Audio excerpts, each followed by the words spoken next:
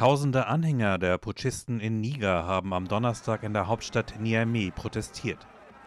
Dabei kritisierten sie die Sanktionen, die regionale und westliche Partner des Landes verhängt hatten, um die Putschisten zur Wiederherstellung der verfassungsmäßigen Ordnung zu zwingen.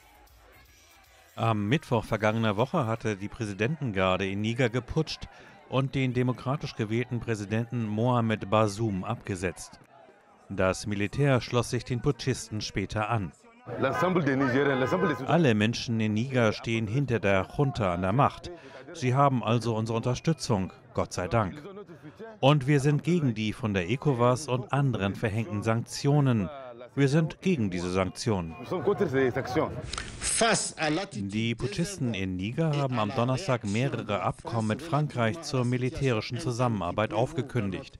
Frankreich hat zwischen 1000 und 1500 Soldaten in Niger stationiert.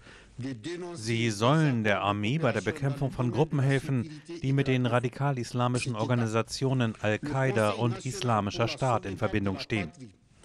Wie die jüngsten Putsche in den Nachbarländern Burkina Faso und Mali fand die Machtübernahme durch das Militär in Niger inmitten einer wachsenden Welle antifranzösischer Gefühle statt.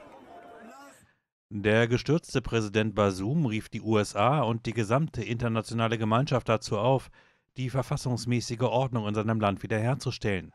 In einem am Donnerstag in der Washington Post veröffentlichten Artikel schrieb er, er sei eine Geisel der Putschisten. Ein erfolgreicher Putsch in Niger werde verheerende Folgen haben für sein Land, die Region und die ganze Welt.